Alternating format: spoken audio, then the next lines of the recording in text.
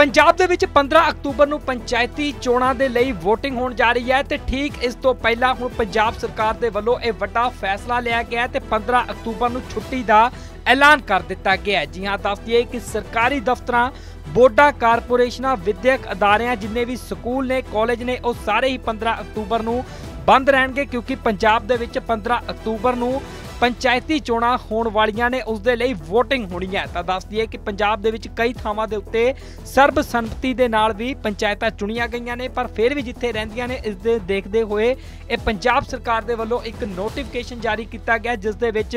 ਸਰਕਾਰੀ ਦਫ਼ਤਰਾਂ ਬੋਰਡਾਂ, ਕਾਰਪੋਰੇਸ਼ਨਾਂ, ਵਿਦਿਅਕ ਅਦਾਰੇ ਜਿੰਨੇ ਵੀ ਸਕੂਲ ਨੇ, ਕਾਲਜ ਨੇ, ਉਹ 15 ਅਕਤੂਬਰ ਨੂੰ ਬੰਦ ਰਹਿਣਗੇ। ਇਹ ਫੈਸਲਾ ਪੰਜਾਬ ਸਰਕਾਰ ਦੇ ਵੱਲੋਂ ਇਸ ਲਈ ਲਿਆ ਗਿਆ ਤਾਂ ਜੋ ਸਾਰੇ ਹੀ ਆਪਣੇ ਵੋਟ ਅਧਿਕਾਰ ਦਾ ਇਸਤੇਮਾਲ ਕਰ ਸਕਣ ਅਤੇ ਆਪਣੀ ਦੇਸ਼ ਦੀ ਤਰੱਕੀ ਦੇ ਵਿੱਚ ਯੋਗਦਾਨ ਪਾ ਸਕਣ। ਤਾਂ ਦੱਸ ਦਈਏ ਕਿ ਪੰਜਾਬ ਸਰਕਾਰ ਦੇ ਵੱਲੋਂ ਹੁਣ ਇਹ ਵੱਡਾ ਫੈਸਲਾ ਲਿਆ ਗਿਆ ਜਿਸ ਨੂੰ ਲੈ ਕੇ ਇਹ ਨੋਟੀਫਿਕੇਸ਼ਨ ਵੀ ਜਾਰੀ ਕਰ ਦਿੱਤਾ ਗਿਆ ਹਾਲਾਂਕਿ ਚੰਡੀਗੜ੍ਹ ਦੇ ਵਿੱਚ ਵੀ ਜਿੰਨੇ ਪੰਜਾਬ ਸਰਕਾਰ ਦੇ ਦਫ਼ਤਰ ਨੇ, ਉਹਨਾਂ ਦੇ ਵਿੱਚ ਵੀ ਛੁੱਟੀ ਰਹੇਗੀ ਤਾਂ ਜੋ ਵਰਕਰ ਨੇ, ਜੋ ਕਰਮਚਾਰੀ ਨੇ ਉਹ ਆਪਣੇ ਵੋਟ ਦਾ ਇਸਤੇਮਾਲ ਕਰ ਸਕਣ, ਤਾਂ ਪੰਜਾਬ ਦੇ ਵਿੱਚ 12000 ਤੋਂ ਵੱਧ ਪੰਚਾਇਤਾਂ ਚੁਣੀਆਂ ਜਾਣੀਆਂ ਨੇ ਤੇ ਉਸ ਦੇ ਲਈ 15 ਅਕਤੂਬਰ ਨੂੰ VOTING ਹੋਣੀ ਹੈ ਤੇ ਸ਼ਾਮ ਨੂੰ ਇਸ ਦੇ ਨਤੀਜੇ ਐਲਾਨੇ ਜਾਣੇ ਨੇ ਤੇ ਠੀਕ ਇਸ ਤੋਂ ਪਹਿਲਾਂ ਇਹ ਪੰਜਾਬ ਸਰਕਾਰ ਦੇ ਵੱਲੋਂ ਇਹ ਵੱਡਾ ਫੈਸਲਾ ਲਿਆ ਗਿਆ। ਹਾਲਾਂਕਿ ਇਹਨਾਂ VOTING ਪ੍ਰਕਿਰਿਆ ਨੂੰ ਸਿਰੇ ਚੜਾਉਣ ਦੇ ਲਈ ਪੰਜਾਬ ਪੁਲਿਸ ਦੇ ਵੱਲੋਂ ਵੀ ਵੱਖ-ਵੱਖ ਉਪਰਾਲੇ ਕੀਤੇ ਗਏ ਨੇ ਥਾਂ ਥਾਂ ਦੇ ਉੱਤੇ ਪੰਜਾਬ ਪੁਲਿਸ ਦੀ ਤੈਨਾਤੀ ਕਰ ਦਿੱਤੀ ਗਈ ਹੈ ਤਾਂ ਜੋ ਅਮਨ ਅਮਾਨ ਦੇ ਨਾਲ